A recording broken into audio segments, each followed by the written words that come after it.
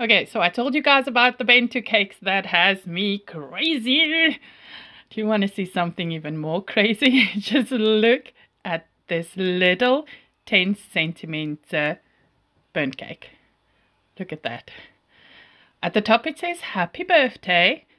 And at the bottom it's got a different message after it burned away. How cool is it? How freaking cool is that? Hats off to the people who invent this stuff. I mean, what what an adorable gift this is going to make.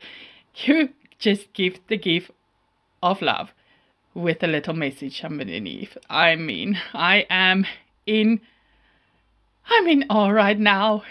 Ah, oh, I love you too, little bento cake. I absolutely love you too.